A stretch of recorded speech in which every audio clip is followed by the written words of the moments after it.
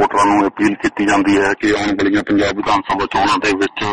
ਸਰਦਾਰ ਸਿਮਰਜੀਤ ਸਿੰਘ ਬੈਂਸ ਜਿਨ੍ਹਾਂ ਦਾ ਕਿ ਚੋਣ ਨਿਸ਼ਾਨ ਲੈਟਰ ਬਾਕਸ ਹੈ, ਉਹਨਾਂ ਨੂੰ ਵੋਟਾਂ ਪਾ ਕੇ ਕਾਮਯਾਬ ਕਰੋ।